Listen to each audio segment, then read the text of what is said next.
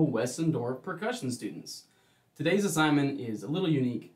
Uh, all the other students are learning how to hold the instruments appropriately so they can play them and make good sounds with them. You've already been playing on your things for a couple of weeks now.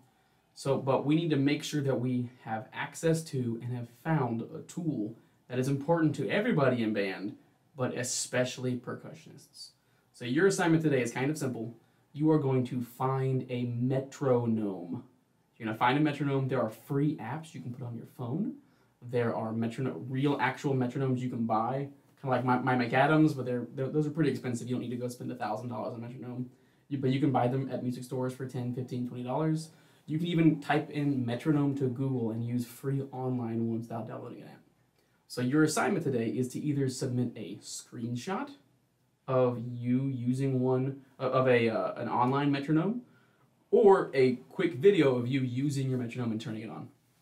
Okay? And then one more thing, what you need to know is you don't need to change any crazy settings. You don't need to, move the ones that have, have the, like it says 4, 4, 2, 4, 3, 4, all those kind of things. Uh, generically we'll tell you some ways to change those settings, but for the most part, what, whatever is normal and how it comes set is fine. If it does something weird, move it to 4-4.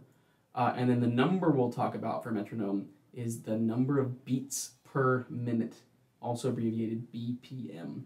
So normally we do things around 90 beats per minute up to 120 beats per minute, 160 beats per minute, and we'll generally tell you what speed we're paying, playing most assignments on uh, at whenever we start doing those assignments.